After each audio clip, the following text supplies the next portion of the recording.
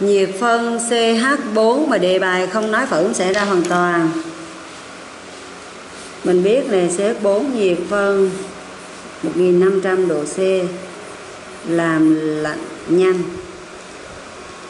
sẽ tạo thành C2H2 và giải phóng cái hydro.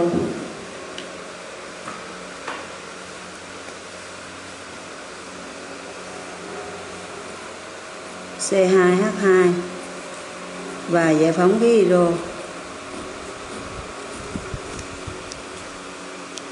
Như vậy là phản ứng xảy ra hoàn toàn, cho nên cô đặt cái này là 2x cái này x và cái này 3x vậy thì hỗn hợp khí sau ứng. Hỗn khí sau ứng gồm có CH2 x mol là hydro 3x này, và CH4 dư. Cô đặt là y như vậy là xếp 4 ban đầu là như là bằng 2x cộng y. Xếp 4 ban đầu là 2x cộng y. Bây giờ cho ba khí. Đi qua GNO3 thì chỉ có C2H2 tới dùng qua GNO3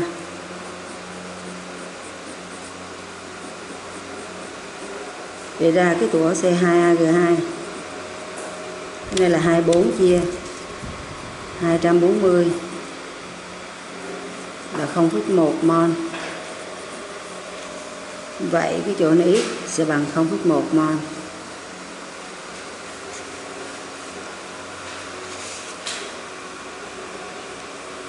khí thoát ra.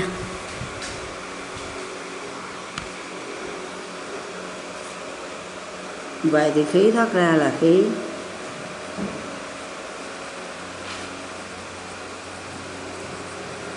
khí thoát ra là gồm hydro và CH4 giờ đốt hydro là ra H2O cái này hydro là 7 hydro là 7 7 này là bằng 0,3 này. vậy nước đây 0,3 mình CH4 mà đốt đó. là hai nước này.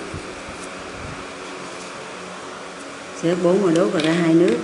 Mà tổng khối lượng nước thu được là 9 gram tổng nước này tổng nước là 9 chia 18 là 0,5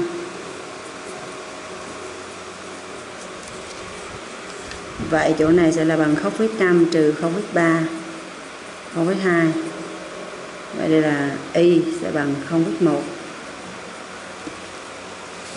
Đây là vẫn xảy ra không hoàn toàn Hiệu suất vẫn được tính bằng. CH4 phản ứng Chia cho CH4 ban đầu nhân 100 phản ứng là x, thấy chứ. Còn ban đầu là 2x cộng y. Vậy là bằng 2 nhân 0 phút 1 nhân 100 chia 2 nhân 0 phút 1 cộng thêm cho 0 phút 1 hiệu suất bằng 66,67%